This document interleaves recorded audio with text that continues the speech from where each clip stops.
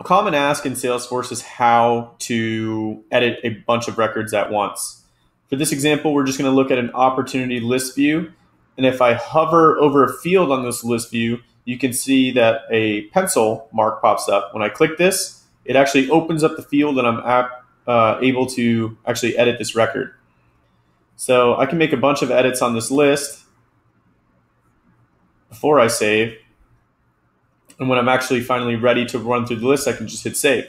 So if you're having uh, consistent meetings with any of your team members or maybe your manager, uh, and you want to kind of walk through a sales cadence, this is a really easy way to walk through all of those different records and maybe make some mass updates um, as you do that.